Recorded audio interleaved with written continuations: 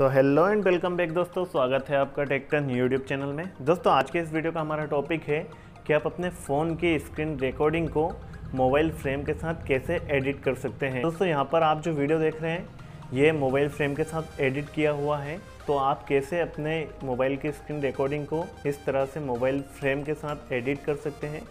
आज के इस कंप्लीट वीडियो में मैं आपको यही बताने वाला हूँ। तो दोस्तों, इससे पहले आपने अभी तक हमारे चैनल को सब्सक्राइब नहीं किया है तो प्लीज़ हमारे चैनल को सब्सक्राइब करें, क्योंकि हम इस चैनल पर ऐसे इंटरेस्टिंग और इन्फॉर्मेटिव वीडियो डालते रहते हैं। तो चलिए वीडियो को शुरू करते हैं बिना किसी देरी के। सबसे पहले आपको अपने फ़ोन में काइन मास्टर ऐप को ओपन कर लेना है। दोस्तों काइन मास्टर ऐप में इंटर करने के बाद आपको यहाँ पर ये प्लस वाले आइकन पर क्लिक करना होगा और आपको यहाँ से एक न्यू प्रोजेक्ट सिलेक्ट कर लेना है। तो हम यहाँ पर सिक्सटीन इस टू नाइन वाला जो आस्पेक्ट रेशो है, इसको सिलेक्ट करेंगे यहाँ पर। और यहाँ से एक मीडिया फ़ाइल हमें लेना है। तो मीडिया फ़ाइल में मैं यहाँ पर एक डेमो स्क्रीन रिकॉर्डिंग मेरे पास ऑलरेडी रिकॉर्ड किया हुआ है तो मैं उसे अभी यहाँ पर इंसर्ट कर रहा हूँ मीडिया में जाकर। तो आप यहाँ पर देख सकते हैं, ये एक डेमो स्क्रीन रिकॉर्डिंग है, जो हमने अपने फ़ोन में रिकॉर्ड की है। ताकि हम आपको यहाँ पर स्क्रीन मोबाइल स्क्रीन में मोबाइल फ्रेम लेआउट लगा कर दिखा पाएँ।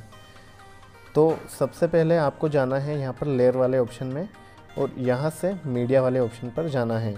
तो दोस्तों मीडिया वाले ऑप्शन पर जाने के बाद आपको यहाँ से मोबाइल फ्रेम यहाँ पे आपको ऐड करनी होगी। तो दोस्तों, ये फ्रेम आपको कहाँ मिलेगी? मैं वीडियो के डिस्क्रिप्शन में दोस्तों यहाँ पर गूगल ड्राइव की एक लिंक डालूँगा। वहाँ से आप इस फ्रेम को जाकर बड़ी ही आसानी से डाउनलोड कर सकते हैं और इसको पूरे अपने टाइमलाइन पर आगे ऐसे स्ट्रेच करते हुए लेकर जाना है।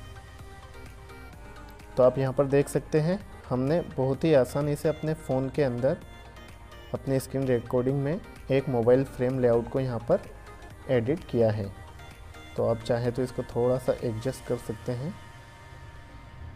बाकी दोस्तों, बहुत आसान है, और आप अपना खुद का भी ऐसे एक लेआउट बना सकते हैं। कैसे बनाना है, अगर आपको इसके ऊपर एक डेडिकेटेड वीडियो चाहिए तो आप वीडियो के डिस्क्रिप्शन में लिखकर ज़रूर बताइए। हम उस पर भी एक वीडियो बना देंगे कि कैसे आप अपना एक लेआउट बना सकते हैं बैकग्राउंड लेआउट, जिसमें कि आप अपने मोबाइल की स्क्रीन रिकॉर्डिंग को लगा सकें। और दोस्तों, अगर आपको ये वाले लेआउट चाहिए और और भी बहुत सारे लेआउट मैं वीडियो के डिस्क्रिप्शन में डाल दूँगा तो आप वहाँ से बड़ी आसानी से इन्हें डाउनलोड कर सकते हैं।